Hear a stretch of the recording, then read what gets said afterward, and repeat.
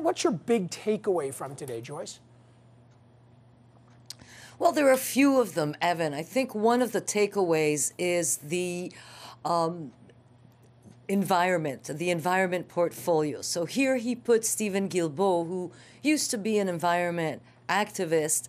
Um, and when he was first elected, you remember, we all thought he was going to, he was a shoe in for the for the environment portfolio, but the prime minister thought it was more prudent to put somebody perhaps with less um, already. You know, his ideas on the environment are well known.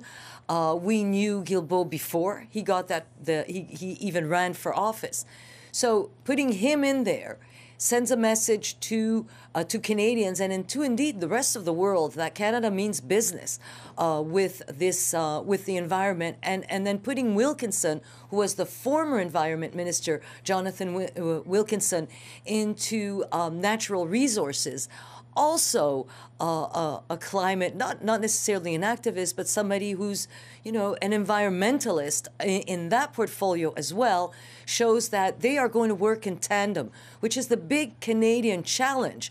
Because what do you do with Canada's natural resources, which are like oil and gas, and turn them into, you know, clean energy these two men are the ones that uh, Justin Trudeau has introduced, has decided to put in cabinet to fight mm-hmm. that. It will be interesting to see.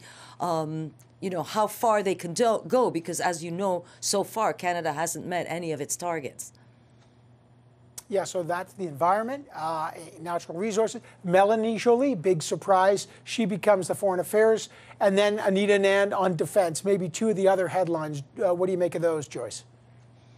Absolutely. So, you know, two women in, in, in very high profile jobs. I'm 100% for that, obviously, being, being a woman.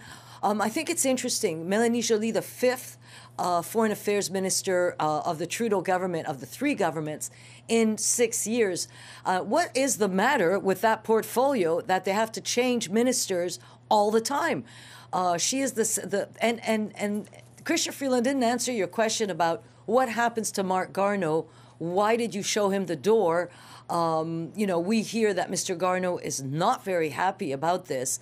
Um, and, and no questions were answered. Why is he no longer in cabinet? And, you know, other senior ministers who we thought perhaps were going to uh, be outside of cabinet are still in cabinet. Why him and not somebody else? Uh, that question remains unanswered. Anita Anand in, uh, in defense uh, she herself has said, look, she doesn't have a magic wand. These are not things that she can do overnight. Um, and, and in answering questions earlier at the press conference, but she said, Look, I'm a hard worker, I'm dogged, um, she won't let go. She showed what she was made of uh, with the vaccine procurement. Uh, she did that brilliantly when, at the beginning of the year, uh, it was met with a lot of skepticism, especially from the uh, conservatives who said, oh, it's going to take Canada until 2030 to get all those vaccines. Well, they were wrong. So, you know, somebody who does a really good job usually gets a promotion. I'm not sure that taking her from from that uh, from procurement to uh, to defense is necessarily a promotion, but she got the really tough job, um, and she knows that she it, it isn't going to happen overnight. Um, and she's already said that today, even before going uh, to see the department. Yeah, it's a tough job, but it's clearly a sign of confidence because that file is an absolute mess. And Anita Anand's job is to uh, clean it up and to handle it. Uh, you know, you can handle a, a vaccine uh, emergency and, and, a pandemic crisis. Maybe you can handle the military, I guess, is the thinking. We'll find out.